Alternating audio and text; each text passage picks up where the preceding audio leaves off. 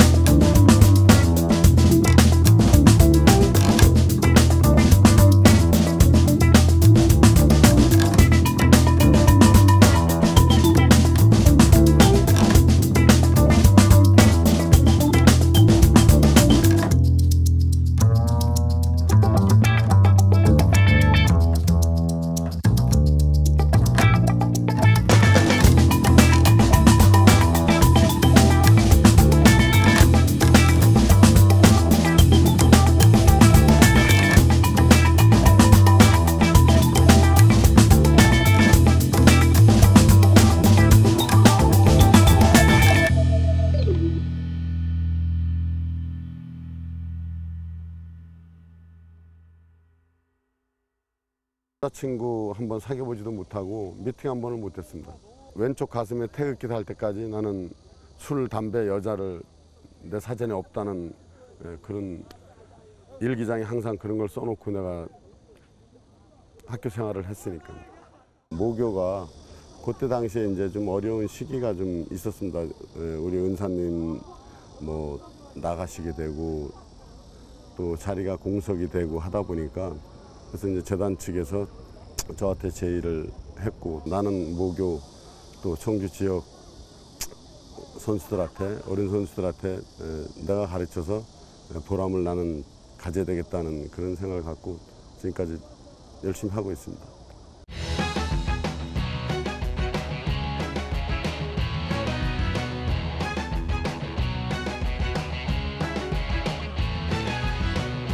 남들이 알아주는 특별한 선수는 애초에 들어올 때는 그때는 그런 선수 한 명 없이 시작을 하는데 도대체 이런 좋은 성적들을 내는 원동력 어디에 있다고 보세요?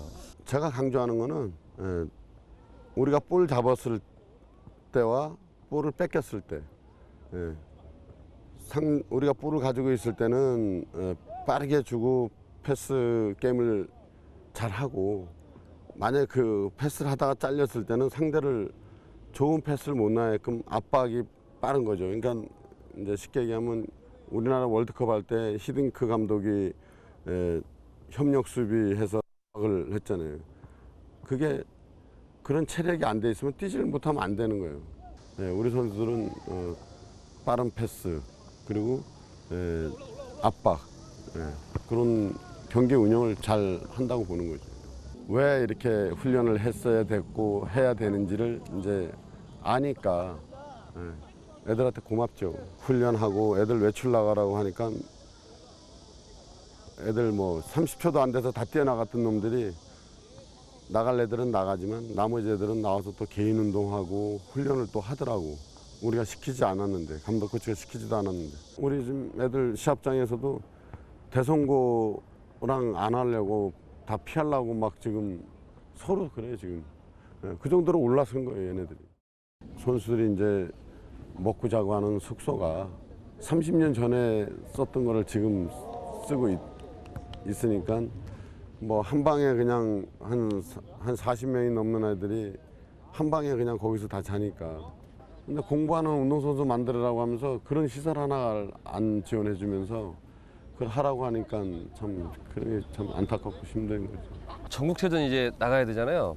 그 각오 한 말씀 하신다면 지금 저희 선수들이 지금 너무 사기가 충전돼 있다고 하나요? 그래서 어, 너무 자신이 넘쳐 있기 때문에 어, 그 그래서 우리 후반기 리그도 지금 안, 해, 안 한다고 하고 최전 준비를 해서 최전에 어떻게든지 어, 금메달 딸 수 있는 어, 그런 목표를 가지고 지금 준비를 하고 있습니다.